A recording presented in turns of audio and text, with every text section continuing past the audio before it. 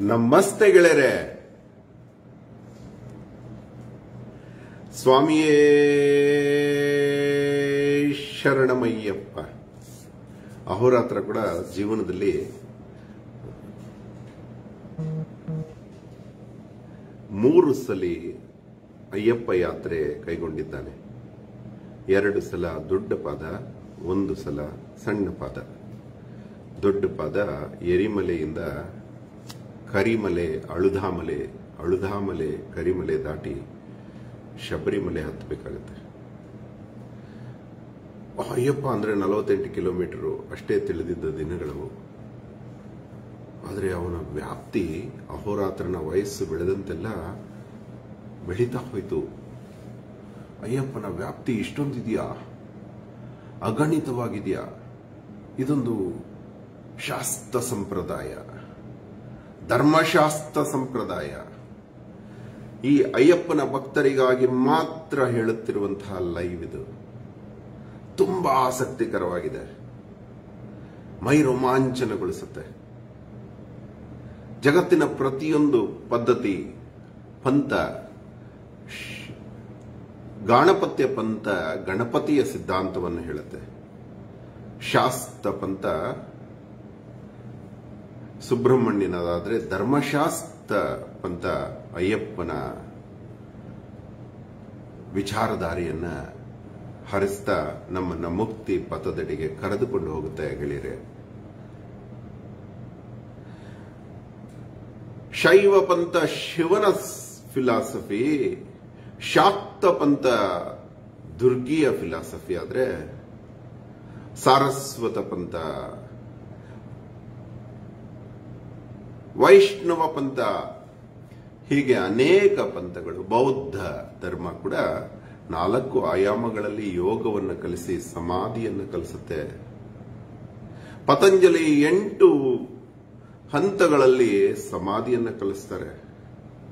ಆದರೆ ಏನೋ ಗೊತ್ತಿಲ್ಲದವರಿಗೆ, ಏನೋ ಗೊತ್ತಿಲ್ಲದಂತೆ ಶಾಲೆಯ ಹಾಗೆ ಧರ್ಮಶಾಸ್ತ್ರ ಪಂಥ ನಮ್ಮನ್ನ ಮುಕ್ತಿಯೆಡೆಗೆ ಕರೆದುಕೊಂಡು ಹೋಗುತ್ತೆ. ಅದರ ಬಗ್ಗೆ ಇವತ್ತು ನಿಮಗೆ ತಿಳಿಸಬೇಕು, ಆ ರಹಸ್ಯ ತಿಳಿಸಬೇಕು. ದಕ್ಷಿಣ ಭಾರತದಾದ್ಯಂತ ಶಬರಿಯ ಮಲೆಯ ಸುತ್ತಮುತ್ತಲು ನೂರ ಎಂಟು ಧರ್ಮಶಾಸ್ತ್ರ ದೇಗುಲಗಳಿದೆ. ಸಾವಿರಾರು ವರ್ಷಗಳಿಂದ. ಧರ್ಮಶಾಸ್ತ್ರ ಅಂದ್ರೆ ಯಾರು? ಮಂದಾರ ಪರ್ವತದಲ್ಲಿ, ಕೈಲಾಸದ ಬುಡದಲ್ಲಿ, ಮಾನಸ ಮತ್ತು ರಾಕ್ಷ ಸರೋವರದ ತಪ್ಪಲಲ್ಲಿ ಮಂದಾರ ಪರ್ವತವಿದೆ. ರಾಕ್ಷಸರು ಮತ್ತು ಅಸುರರು ಸುರರು ಸೇರಿ ಆಮೆಯ ಮೇಲೆ, ಕೂರ್ಮಾವತಾರದ ವಿಷ್ಣುವಿನ ಮೇಲೆ ಸಮುದ್ರ ಮಂಥನ ಮಾಡಿದಾಗ ಅಮೃತೋತ್ಪತ್ತಿಯಾಗುತ್ತದೆ. ಅದನ್ನು ಹಂಚಲು ಮೋಹಿನಿ ಬರುತ್ತಾಳೆ. ಮೋಹಿನಿಗೆ ಮೋಹಗೊಂಡ ಶಿವ ಮೋಹಿನಿಯಿಂದ ಪುತ್ರರತ್ನ ಪ್ರಾಪ್ತಿಯಾಗುತ್ತದೆ. ಅದೇ ಧರ್ಮಶಾಸ್ತ್ರ. ಆ ಧರ್ಮಶಾಸ್ತ್ರನ ಅವತಾರ ರೂಪವೇ ಮಣಿಕಂಠ ಎಂಬ ನಾಮವನ್ನು ಹೊತ್ತ ನಮ್ಮ ಬಾಲಕ ಅಯ್ಯಪ್ಪ. ಏನಪ್ಪ ಅಯ್ಯಪ್ಪ ಮಾಲೆ ಹಾಕಿದ್ರೆ ಒಳ್ಳೇದಾಗುತ್ತೆ ಅಂತಾರೆ ಅಂದ್ರೆ ನಮ್ಮಲ್ಲೇ ಒಳ್ಳೆತನ ಹುಟ್ಟು ಬಿಡುತ್ತೆ ಅಜ್ಞಾನದಿಂದ ಜ್ಞಾನದತ್ತ, ದುಃಖದಿಂದ ಸುಖದತ್ತ, ಕತ್ತಲಿನಿಂದ ಬೆಳಕಿನತ್ತ ಹೊತ್ತೊಯ್ಯುತ್ತದೆ ದಿವ್ಯ ಜ್ಯೋತಿ ಯಾತ್ರೆ. ಆದರೆ ಇಷ್ಟು ದಿನ ನಮಗೆ ಯಾರಿಗೂ ಗೊತ್ತಿಲ್ಲದ ಒಂದು ರಹಸ್ಯ ಅಹೋರಾತ್ರನಿಗೆ ಸಿಕ್ಕಿತು. ಆ ಸಿಕ್ಕ ತಕ್ಷಣ ಅದನ್ನ ನಿಮಗೆ ಹಂಚಬೇಕು ಅನ್ನಿಸ್ತು. ಆ ನೂರೆಂಟು ದೇಗುಲಗಳಲ್ಲಿ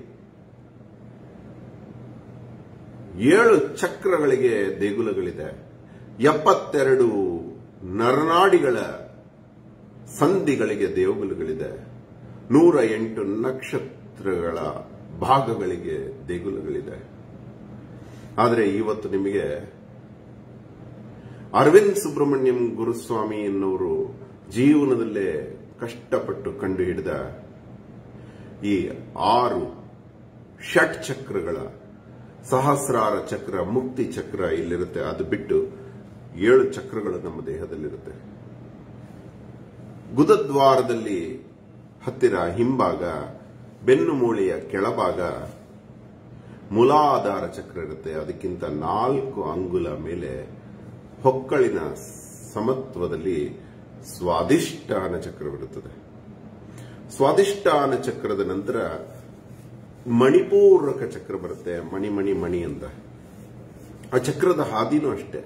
ನಾವು ಅನ್ಕೊಂಡಂಗೆ ಮೇಲೆ ಹೋಗ್ತಾ ಇರಲಿಲ್ಲ ಜಿಗ್ಜಾಗ್ ವೇಲಿರುತ್ತೆ ಆ ಮಣಿಪೂರಕ ಚಕ್ರದಿಂದ ಮೇಲೆ ಹೃದಯದ ಭಾಗದಲ್ಲಿ ಅನಾಹತ ಚಕ್ರವಿರುತ್ತದೆ ಅನಾಹತ ಚಕ್ರದಿಂದ ಮೇಲಕ್ಕೆ ಎಂಟು ಅಂಗುಲ ಮೇಲೆ ಕಂಠದಲ್ಲಿ ವಿಶುದ್ಧ ಚಕ್ರವಿರುತ್ತದೆ ಅದಾದ ಹನ್ನೆರಡು ಅಂಗುಲದ ಮೇಲೆ ಹನ್ನೆರಡು ಬೆರಳುಗಳ ಮೇಲೆ ನೋಡಿ ಇಲ್ಲಿ ಆಗ್ನಹ ಚಕ್ರವಿರುತ್ತದೆ ಇದು ಶಬರಿಮಲೆಯಾಗಿದೆ. ಇಲ್ಲಿ ಅಯ್ಯಪ್ಪ ಅದೇ ಬಿಂದುವಿನ ಆಕೃತದಲ್ಲಿ ಆ, ಸ್ವಸ್ತಿಕಾಸನದಲ್ಲಿ ಕಾಲುಗಳನ್ನು ಒಟ್ಟಿಗಿಟ್ಟು ಅಗಲ ಮಾಡಿ ಸಿದ್ಧಯೋಗಾಸನದಲ್ಲಿ ಕುಳಿತಿದ್ದಾರೆ. ಈ ಜಾಗದಲ್ಲಿ ಇದು ಬೃಮಧ್ಯಾಸನ ಇನ್ನು ಈತನನ್ನು ಮುಟ್ಟಿದ ನಂತರ ತೆರೆದುಕೊಳ್ಳುವುದೇ ಸಹಸ್ರಾರ ಚಕ್ರ. ಇದು ನೆತ್ತಿಯ ಮೇಲಿರುತ್ತದೆ, ಅದೇ ಮುಕ್ತ ಲೋಕ. ಇದನ್ನ ಪಾದಯಾತ್ರೆ ಹೋಗೋರು ಬೆಂಗಳೂರಿಂದ ಹೋಗ್ತಾರೆ, ಮುಂಬೈಯಿಂದ ಹೋಗ್ತಾರೆ, ಮದ್ರಾಸಿಂದ ಹೋಗ್ತಾರೆ, ಅವರವರ ಹುಟ್ಟೂರಿಂದ ಹೋಗ್ತಾರೆ. ಆದರೆ ಪಾದಯಾತ್ರೆ ಹೋಗೋರು ಹೇಗೆ ಹೋಗ್ಬೇಕು? ಎಷ್ಟು ದಿನ ಹಿಡಿಯುತ್ತೆ? ಆ ಆರು ಚಕ್ರಗಳನ್ನು ಹೇಗೆ ಮಾಡೋದು? ನೂರೆಂಟು ದೇಗುಲಗಳನ್ನು ಪಾದಯಾತ್ರೆ ಮಾಡಬಹುದು ಮಾರ್ಕ್ ಮಾಡ್ಕೋಬೇಕು. ಇವತ್ತು ನಿಮಗೆ ಷಟ್ ಚಕ್ರಗಳ ಪರಿಚಯ ಮಾಡಿಸ್ಕೊಡ್ತೀನಿ. ಎಷ್ಟು ಚೆನ್ನಾಗಿದೆ ಬನ್ನಿ. ತುಂಬ ಶ್ರದ್ಧೆಯಿಂದ ಕೇಳಿಸ್ಕೊಳ್ಳಿ. ತುಂಬ ಚೆನ್ನಾಗಿದೆ ಇದು. ಫಸ್ಟ್ ಲೈಟ್ಸ್ ಎಲ್ಲ ಆಫ್ ಮಾಡೋಣ. ಮತ್ತೆ ನಿಮಗೆ ಹೇಳೋದು ಈಸಿ ಆಗುತ್ತೆ. ಒಂದೆರಡು ನಿಮಿಷ. ಕಾಲ ಕೊಡಿ ಅಹೋರಾತ್ರನಿಗೆ ಬನ್ನಿ ಲೈಟ್ಸ್ ಆಫ್ ಮಾಡೋಣ ಗೂಗಲ್ ಅರ್ತ್ ಇಂದ ನಿಮಗೆ ಪೂರ್ಣ ಪರಿಚಯ ಮಾಡಿಸ್ಕೊಡ್ತೀನಿ.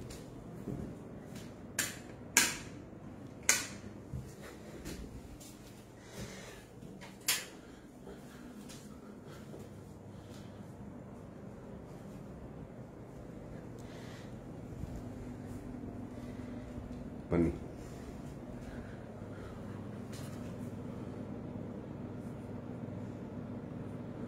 ಆ.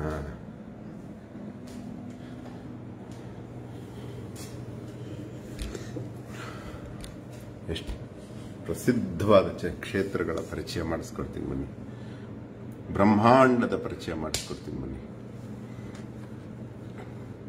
ನೋಡಿ, ಇದು ಗೂಗಲ್ ಅರ್ತ್. ಗೂಗಲ್ ಅರ್ಥಲ್ಲಿ ಭೂಮಿ ಇದನ್ನು ಕಂಡುಹಿಡಿದ ಮಹಾನುಭಾವರಿಗೆ ಹೊಂದಿಸಬೇಕು. ಗೂಗಲ್ ಅರ್ಥಲ್ಲಿ, ನೋಡಿ, ಇವಾಗ ಭಾರತ ಮಾತೆ ಬರ್ತಾಳೆ. ಭಾರತ ಮಾತೆಯ ಪದತಲದಲ್ಲಿ ಷಟ್ ಚಕ್ರಗಳು ಓಪನ್ ಆಗ್ತಾ ಇದೆ. ಮೊದಲನೇ ಚಕ್ರ ಮೂಲಾಧಾರ ಚಕ್ರ.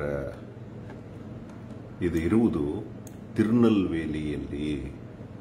ನೋಡಿ, ತಿರುನಲ್ವೇಲಿಯಲ್ಲಿ ಸೋರಿಮುತ್ತು ಅಯ್ಯನರ್ ಟೆಂಪಲ್ ಅಂತ ಒಂದಿದೆ. ಇದನ್ನು ತೋರ್ಸೋಕ್ ಮೊದಲೇ ಇದರ ಪರಿಚಯಕ್ಕೆ ಕಾರಣಕರ್ತರಾದ ಪರಿಚಯ ಇಲ್ದಿದ್ರು ಒಂದು ದಾಖಲೆಯಲ್ಲಿ, ವಿಡಿಯೋ ದಾಖಲೆಯಲ್ಲಿ ಕಾಣಿಸಿದಾಗ ಸೀನು ಜೋಸೆಫ್ ಅನ್ನುವರ ಬಾಯಿಂದ ಬಂದ ಮಾತುಗಳಿಂದ ಉಪಕಾರ ಆಯಿತು. ಮತ್ತೆ ಆ ಎಮ್ಮ ಹೇಳಿದ್ದು, ಅರವಿಂದ್ ಸುಬ್ರಹ್ಮಣ್ಯಂ ಅವರ ರಿಸರ್ಚ್ ಅಂತೆ. ಇದು ಸತ್ಯ ಅಂತ ಗೂಗಲ್ ಅರ್ಥಲ್ಲಿ ಗೋಚರ ಆದ ತಕ್ಷಣ ನಿಮಗೆ ಹೇಳಿಕೊಡ್ತಾ ಇದ್ದೀನಿ. ಈ ಎಲ್ಲ ದೇಗುಲಗಳಲ್ಲಿ ಒಂದು ಮಹಿಮೆ ಇದೆ. ಅದರ ತೀರ್ಥದಿಂದಲೇ ನಿಮ್ಮಲ್ಲಿ ಈ ಮೂಲಾಧಾರ ಚಕ್ರದ ತೀರ್ಥ ತಗೊಂಡ್ರೆ ಸಾಕು. ಮೂಲಾಧಾರಕ್ಕೆ ಸಂಬಂಧಿಸಿದ ಎಲ್ಲ ಕಾಯಿಲೆಗಳು ವಾಸಿಯಾಗುತ್ತದೆ. ಈ ಇಲ್ಲಿಂದ ಆರಂಭ ಆಗುತ್ತೆ ಪಾದಯಾತ್ರೆ ಅಂತ ತಿಳ್ಕೊಳ್ಳಿ. ಅದನ್ನು ಹೇಳ್ತೀನಿ. ಎಲ್ಲಿಂದ ಎಷ್ಟಾಗತ್ತೆ ಅಂತ. ಇಲ್ಲಿಂದ ಪಾದಯಾತ್ರೆ ಆರಂಭ ಆದ್ರೆ ಎರಡನೇ ಚಕ್ರಕ್ಕೆ ಹೋಗಬೇಕು. ಅದು ಸ್ವಾಧಿಷ್ಠಾನ ಚಕ್ರ. ನೋಡಿ, ಇಷ್ಟು ದೂರ ನಡ್ಕೊಂಡು ಹೋಗ್ಬೇಕು. ಎಷ್ಟು ದೂರ? ಎಷ್ಟು ದಿನ ಹಿಡಿಯುತ್ತೆ ನಡೆದ್ರೆ ಅದನ್ನ ಹೇಳ್ತೀನಿ. ತುಂಬಾ ಚೆನ್ನಾಗಿದೆ. ಇಲ್ಲ ಆದ್ಮೇಲೆ ತುಂಬಾ ಒಳ್ಳೆ ಶಾಸ್ತ ಟೆಂಪಲ್ ಇದೆ. ಅಚ್ಚನ್ ಕೋಯಿಲ್ ಅಂತ ಧರ್ಮಶಾಸ್ತ್ರ ದೇಗುಲ ಇದು. ನೂರೆಂಟು ದೇಗುಲಗಳಲ್ಲಿ ಇದು ಒಂದು. ಈ ಅಚ್ಚನ್ ಕೋಯಿಲಲ್ಲಿ ನಿಮಗೆ ಸಿಗುವ ತೀರ್ಥ ಇದೆಯಲ್ಲ? ಮೈ ರೋಮಾಂಚನಗೊಳಿಸುತ್ತೆ. ಇಲ್ಲಿ ಸುಮಾರು ಜನ ಬಂದು ತೀರ್ಥ ತಗೊಂಡು ಅನೇಕ ರೋಗಗಳನ್ನು ವಾಸಿ ಮಾಡ್ಕೊಂಡು ಹೋಗ್ತಾರೆ. ಅಷ್ಟು ಅದ್ಭುತವಾದಂತಹ ಅಚ್ಚನ್ ಕೋಯಿಲ್ ಇದು ಇಲ್ಲಿ ದರ್ಶನ ಮಾಡಬೇಕು ಅಂದ್ರೆ ಅಲ್ಲಿಂದ ಇಲ್ಲಿಗೆ ನಡೆದು ಬರ್ತಾರೆ ಅಯ್ಯಪ್ಪ ಹಿಂದಿನ ಕಾಲದಲ್ಲಿ ಹೇಳ್ತಾನೆ ಸಾವಿರಾರು ವರ್ಷಗಳಿಂದ ಹೀಗೆ ಮಾಡ್ತಾ ಇದ್ರು. ಅಚ್ಚನ್ ಕೋಯಿಲಲ್ಲಿ ದರ್ಶನ ಮಾಡಕ್ ಬರೋರು. ಸೋರಿಮುತ್ತು ಅಯ್ಯರ್ ಟೆಂಪಲ್ ಇಂದ, ಕೋಯಿಲಿಂದ ಅಚ್ಚನ್ ಕೋಯಿಲ್ಗೆ ನೂರ ಐವತ್ತೇಳು ಪಾಯಿಂಟ್ ಒಂದು ಕಿಲೋಮೀಟರ್ ಇದೆ. ಅದನ್ನು ನಡಿಬೇಕಾದ್ರೆ ನಮಗೆ ಬಳಸಬೇಕಾಗಿರೋದು ಮೂವತ್ತೆರಡು ಗಂಟೆ. ಅಂದರೆ ಮೂವತ್ತೆರಡು ಗಂಟೆ ಸತತವಾಗಿ ನಡೆದ್ರೆ ಅಚ್ಚನ್ ಕೋಯಿಲ್ ಸಿಗುತ್ತೆ. ಆದರೆ ಒಬ್ಬ ಮನುಷ್ಯ ಹೆಚ್ಚು ಅಂದರೆ ದಿನಕ್ಕೆ ಇಪ್ಪತ್ತು ಕಿಲೋಮೀಟ್ರು, ಕಡಿಮೆ ಅಂದರೆ ದಿನಕ್ಕೆ ಹತ್ತು ಕಿಲೋಮೀಟ್ರು ಅಥವಾ ಐದು ಕಿಲೋಮೀಟರ್ ನಡೀತಾರೆ. ಐದು ಕಿಲೋಮೀಟರ್ ನಡೆದ್ರೂ ಇಲ್ಲಿಗೆ ಬರೋದಕ್ಕೆ ಎಷ್ಟಾಗುತ್ತೆ? ಆರು ದಿವಸ ಹಿಡಿಸುತ್ತೆ. ಇಪ್ಪತ್ತು ಕಿಲೋಮೀಟರ್ ನಡೆದರೆ ಒಂದೂವರೆ ದಿವಸದಲ್ಲಿ ಇಲ್ಲಿಗೆ ಮುಟ್ಟಬಹುದು. ಇದಾದ ನಂತರ ಈ ಸ್ವಾದಿಷ್ಠಾನ ಚಕ್ರದಲ್ಲಿ ಶುಗರು, ಎಲ್ಲ ಸಂಬಂಧಿತ ಕಾಯಿಲೆಗಳು ವಾಸಿಯಾಗೋದಲ್ಲದೆ ಮನುಷ್ಯ ಯಮ ನಿಯಮಗಳನ್ನು ಕಲಿತಾನಂತೆ. ಅಂದ್ರೆ ಇದನ್ನ ನಡೆಯೋವಾಗಲೇ ಅವನು ಏನು ಮಾಡಬೇಕು, ಏನು ಮಾಡಬಾರದು, ಇನ್ನೊಬ್ಬರ ಸ್ವತ್ತನ್ನು ಬಳಸಬಾರದು, ಸಾಲ ಮಾಡಬಾರದು, ದುಃಖಕ್ಕೆ ದಾರಿಯಾದ ಎಲ್ಲ ವಿಚಾರಗಳನ್ನು ತಿಳ್ಕೊಂಡು ಅದನ್ನು ಬಿಡ್ತಾನಂತೆ. ಅದಕ್ಕೆ ಆರ್ಯನ್ ಕಾವು ಅಯ್ಯಪ್ಪನ್ ಟೆಂಪಲ್ ಅಂತ ಇಲ್ಲೊಂದಿದೆ. ಇದು ಇವೆಲ್ಲ ನೂರಾರು, ಸಾವಿರಾರು ವರ್ಷಗಳ ಹಿಂದಿನವು. ಇಲ್ಲೆಲ್ಲ ತೀರ್ಥ, ಪ್ರಸಾದ, ಅಭಿಷೇಕ ಎಲ್ಲ ವಿಶೇಷವಾಗಿರುತ್ತೆ. ನಮಗೆ ಗೊತ್ತಿರೋದು ಶಬರಿಮಲೆ ಒಂದೇ. ಈ ಆರ್ಯನ್ ಕಾವುಗೆ ನಡ್ಕೊಂಬರ್ಬೇಕಾಗತ್ತೆ ಅಲ್ಲಿಂದ. ಇದು ಮಣಿಪೂರಕ ಚಕ್ರ. ಈ ಆರ್ಯನ್ ಕಾವುಗೆ ಅಚ್ಚನ್ ಕೋಯಲಿಂದ ಆರ್ಯನ್ ಕಾವುಗೆ ಬರಬೇಕು ಅಂದ್ರೆ ಮೂವತ್ತೆಂಟು ಪಾಯಿಂಟ್ ಮೂರು ಕಿಲೋಮೀಟರ್ ನಡಿಬೇಕು. ಅಂದ್ರೆ ಸುಮಾರು ಎಂಟು ಗಂಟೆ ಹತ್ತು ನಿಮಿಷ ಹಿಡಿಸುತ್ತೆ. ಅಂದ್ರೆ ಇದು ಒಂದು ದಿವಸದಲ್ಲಿ ಕಂಪ್ಲೀಟ್ ಆಗುತ್ತೆ. ಕರೆಕ್ಟಾಗಿ ಮೂಲಾಧಾರ ಚಕ್ರದಿಂದ ಸ್ವಾದಿಷ್ಠಾನ ಚಕ್ರಕ್ಕೆ ಎಷ್ಟು ದೂರ ಇದೆಯೋ ಅದೇ ರೇಷಿಯೋದಲ್ಲಿದೆ ಇದು. ಸ್ವಾದಿಷ್ಠಾನದಿಂದ ಮಣಿಪುರಿಕ ತುಂಬಾ ಹತ್ರ ಇದು ಹಂಗೆ ಇದೆ. ಇದು ಹಂಗೆ ಟರ್ನ್ ಹೊಡೆಯುತ್ತೆ. ಸ್ವಾದಿಷ್ಠಾನದಿಂದ ಕೆಳಕ್ಕೆ ಹೋಗ್ಬೇಕು. ಮಣಿಪೂರಕ ಅಂದ್ರೆ ಸಣ್ಣ ಕರಳು ಅಂತ. ಮಣಿ ಮಣಿ ಮಣಿ ಮಣಿ ಥರ ದಾರ ಥರ ಇರುತ್ತೆ ಅದು, ಸಣ್ಣ ಕರಳು. ಅದು ಮಣಿಪೂರಕ ಚಕ್ರ. ಅಲ್ಲಿಂದ ಸ್ವಾದಿಷ್ಠಾನದಿಂದ ಮತ್ತೆ ಸಿಗೋದು ಮಣಿಪೂರಕ ಚಕ್ರ ಆಯಿತು. ಮಣಿಪೂರಕ ಚಕ್ರದಿಂದ ಇಲ್ಲಿ ಕೂಡ ತೀರ್ಥ ಪ್ರಸಾದಗಳಲ್ಲೇ ವಿಶೇಷತೆ ಇದೆ. ದೇವರ ದರ್ಶನದಲ್ಲೇ ಸೌಭಾಗ್ಯ ಇದೆ. ಈ ಆರ್ಯನ್ ಕಾವು ದೇಗುಲದಿಂದ ಮುಂದಕ್ಕೆ ಹೋದರೆ ಅನಾಹತ ಚಕ್ರ ಸಿಗುತ್ತೆ. ಅಂದ್ರೆ ಹೃದಯ ಚಕ್ರ ಅಂತ. ಕುಳತ್ತುಪುರ ಅನ್ನುವ ದೇವಸ್ಥಾನ ಅದು. ಅವರು ಪೂಜಾ ಅಂತ ಕರೀತಾರೆ. ಇಲ್ಲಿ ಬಾಲಶಾಸ್ತ ಟೆಂಪಲ್ ಇದೆ. ಹೃದಯ ಎಷ್ಟು ಮಧುರನೋ ಇಲ್ಲಿ ಅಷ್ಟೇ ಮಧುರ.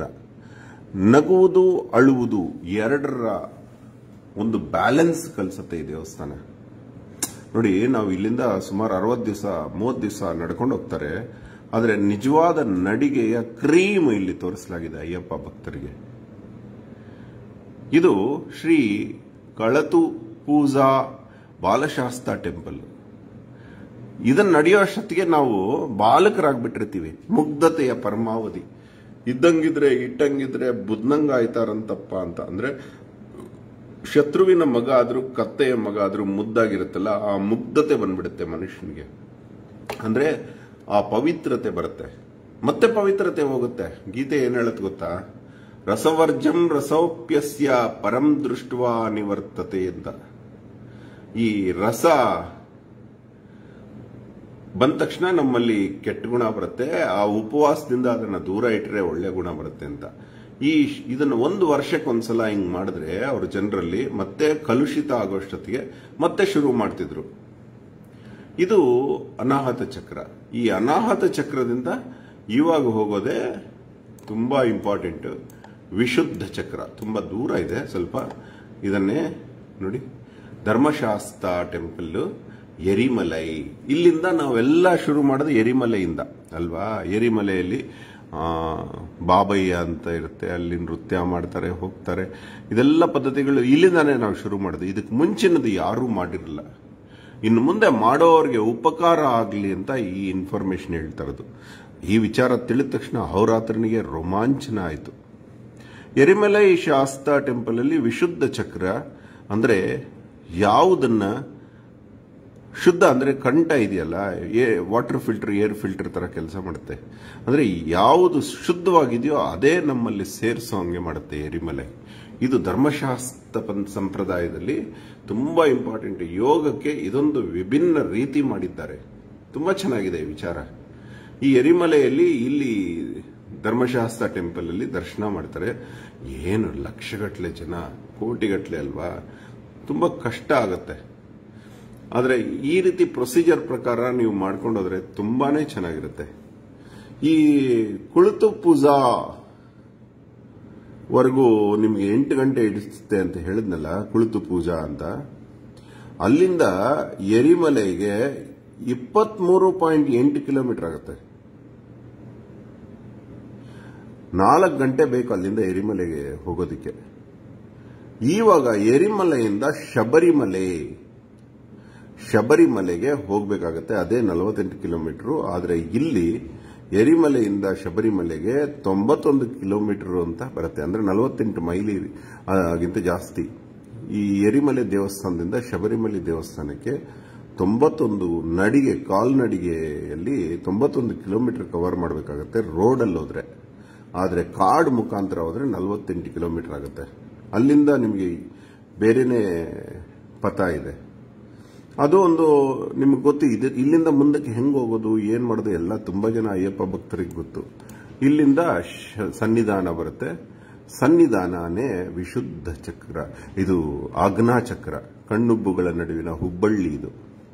ಇಲ್ಲಿ ಅಯ್ಯಪ್ಪ ನೆಲೆಸಿದ್ದಾನೆ, ಧರ್ಮಶಾಸ್ತ್ರ, ಅಂದ್ರೆ ಸನ್ನಿಧಾನ. ಇಲ್ಲಿಂದ ಮುಂದಕ್ಕೆ ಅವನೇ ನಮ್ಮನ್ನ ಸಹಸ್ರಾರದ ಕಡೆಗೆ ತಳ್ತಾನೆ ಅನ್ನೋದು ಶಾಸ್ತ್ರ, ಧರ್ಮಶಾಸ್ತ್ರ ಸಂಪ್ರದಾಯದ ಒಂದು ನಂಬಿಕೆ, ಅದು ನಿಜ ಕೂಡ. ನಿಜ ಅಲ್ಲದಿದ್ರೆ ಹೆಚ್ಚು ಜನ ಹೋಗೋದಿಲ್ಲ. ಯಾರು ದೇವರನ್ನ ನಂಬೋದಿಲ್ವೋ ಅವರೇ ಒಂದು ವ್ಯಾಪಾರ ಸಿದ್ಧಾಂತ ಇಟ್ಕೊಂಡಿದ್ದಾರೆ. ಯಾವ ಪ್ರಾಡಕ್ಟ್ ಚೆನ್ನಾಗಿದ್ರೆ ಅಲ್ಲಿ ಕ್ಯೂ ಚೆನ್ನಾಗಿರುತ್ತೆ, ಅಲ್ಲಿ ರಶ್ ಚೆನ್ನಾಗಿರುತ್ತೆ ಅಂತ. ಎಲ್ಲಿ ರಶ್ ಚೆನ್ನಾಗಿದೆಯೋ ಅಲ್ಲಿ ಸಿದ್ಧಿ ಇರಲೇಬೇಕು ಅಂತ. ಎಲ್ಲಿ ಅಷ್ಟು ಜನ ಸುಮ್ ಸುಮ್ಮನೆ ಹೋಗ್ತಾರ? ಏನೋ ಒಂದು ಸಿದ್ಧಿ ಸಾಧನೆ ಇರಲೇಬೇಕು. ಈ ನಂಬದವರಿಗೆ ಈ ಮಾತು ಹೇಳ್ತಾ ಇದ್ದೀನಿ ಆದರೂ ಇವತ್ತು ಈ ಲೈವ್ನ ಧರ್ಮಸ್ಥಳದವರು ಧರ್ಮಶಾಸ್ತ್ರದವರು ನಂಬಲಿ, ನಂಬುವವರಿಗಾಗಿ ಮಾತ್ರ ಅಂತ ಹೇಳೇ ಮಾಡ್ತಾ ಇದ್ದೀನಿ. ಅಂದರೆ ನಂಬುವವರಿಗೆ ನಂಬದವರು ನೋಡ್ತಾ ಇದ್ರೆ ಅವ್ರಿಗೂ ಕೂಡ ಒಂದು ವಿಚಾರ, ಸುಮ್ ಸುಮ್ನೆ ಯಾರು ಅಷ್ಟು ಜನ ಒಂದು ಕಡೆ ಹೋಗೋದು ಅಂದರೆ ತಮಾಷೆ ಅಲ್ಲ. ಅಂದರೆ ಅಷ್ಟು ಜನ ಮೂರ್ಖರು ನೀವೊಬ್ಬರೇ ಬುದ್ಧಿವಂತರು ಅಂತ ತಿಳ್ಕೊಬೇಡಿ. ಏನೋ ಒಂದು ಸೆಳೆತ, ಅಶಕ್ತಿ, ಪವರು ಇದ್ರೇನೆ ಹಂಗೆ ಹೋಗೋದು. ಅಜ್ಞಾನದಿಂದ ನಮಗೆ ತಿಳಿದಂಗೆ ನಾವು ಊಹೆ ಮಾಡ್ಕೋಬಾರ್ದು. ಸುಜ್ಞಾನ ಬೇಕು ಅಂದರೆ ಇಂಥದ್ದು ಅನೇಕ ಪಂಥಗಳ ಮುಖಾಂತರ ದೇವರನ್ನ ಸಾಧಿಸುವಂತಹ ಒಂದು ವಿಧಾನ ಕಂಡಿಡ್ಕೊಂಡ್ರು ನಮ್ಮ ಭಾರತೀಯರು. ಯಾವುದೇ ಪಂಥಕ್ಕೆ ಹೋಗಿ ಶಾಕ್ತ ಸಂಪ್ರದಾಯ, ಗಾಣಪತ್ಯ ಸಂಪ್ರದಾಯ, ಶೈವ ಸಂಪ್ರದಾಯ, ವೈಷ್ಣವ ಸಂಪ್ರದಾಯ, ಶ್ರೀ ವೈಷ್ಣವ ಸಂಪ್ರದಾಯ, ಮಾಧ್ವ ಸಂಪ್ರದಾಯ ಆ ಸಂಪ್ರದಾಯ, ಈ ಸಂಪ್ರದಾಯ, ಬೌದ್ಧ ಸಂಪ್ರದಾಯ ಜೈನ ಸಂಪ್ರದಾಯ ಏನೇ ಆಗಿರಲಿ ಎಲ್ಲದರ ಮುಖ್ಯ ಗುರಿ ಮುಕ್ತಿ ಪಥ ಅಂತ. ಅಂದರೆ ಸುಖ ದುಃಖೇ ಸಮೀಕೃತ್ವ ಲಾಭ ಲಾಭೌ ಜಯ ಜಯೌ. ಯಾವ ಎಲ್ಲವನ್ನ ಸಮತ್ವದಿಂದ ನೋಡುವ ಕಡೆಗೆ ಅಯ್ಯಪ್ಪ ಹೋಗ್ತಾನೆ. ಅಷ್ಟು ದೊಡ್ಡ ರಾಜ್ಯದ ರಾಜ್ಯ ಯುವರಾಜನಾಗಿ ಏನೂ ಬೇಡ ಅಂತ ಹೋಗಿ ಶಬರಿಮಲೆಯ ಬೆಟ್ಟದ ಮೇಲೆ ಕೂತ್ಕೋತಾನಲ್ಲ. ಆ ಒಂದು ನಿಸ್ವಾರ್ಥ ಬುದ್ಧಿ, ನಿಷ್ಕಲ್ಮಶ ಬುದ್ಧಿ ನಮ್ಮಲ್ಲಿ ಬರುತ್ತೆ ಅನ್ನೋದರಲ್ಲಿ ಯಾವ ಅಪನಂಬಿಕೆಯೂ ಇಲ್ಲ. ನಾವು ಸಹಸ್ರಾರವನ್ನು ದಾಟಿ ಮುಕ್ತಿ ಹೊಂದುವುದರಲ್ಲಿ ಯಾವ ಸಂಶಯವೂ ಇಲ್ಲ. ಈ ವಿಚಾರವನ್ನು ನಿಮಗೆ ಹೇಳಬೇಕು ಅನ್ನಿಸ್ತು. ಧನ್ಯವಾದ. ಅಹೋರಾತ್ರ.